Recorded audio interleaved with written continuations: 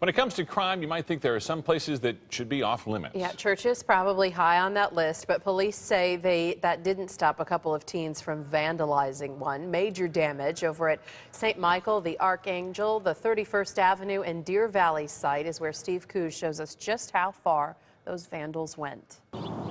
It has taken a loyal Christian community 10 years to raise this cross in North Phoenix, but it took vandals only minutes to destroy most of the inside broke 19 windows. They tore up personal stuff. St. Michael the Archangel church leader Jim Lozanovsky and his fellow worshippers are having their faith tested.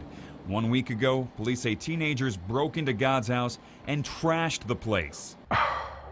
Very bad. As if it couldn't get any worse, the vandals came back to deal even more damage. Everything is stored up, the plumbing is torn apart shattered windows outside, and indoors, some of the walls are stripped down to just the wood frames underneath.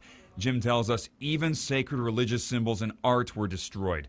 Phoenix police showed up and detained two 14-year-olds around 11 o'clock at night. They think the teens were only inside the church since 10:30. That's 35 minutes. They did damage that two adults can do in two days.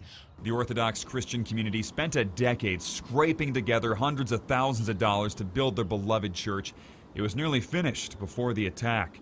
Jim asked one of the teens why he'd want to cause such harm to his church and its members. He didn't say a word.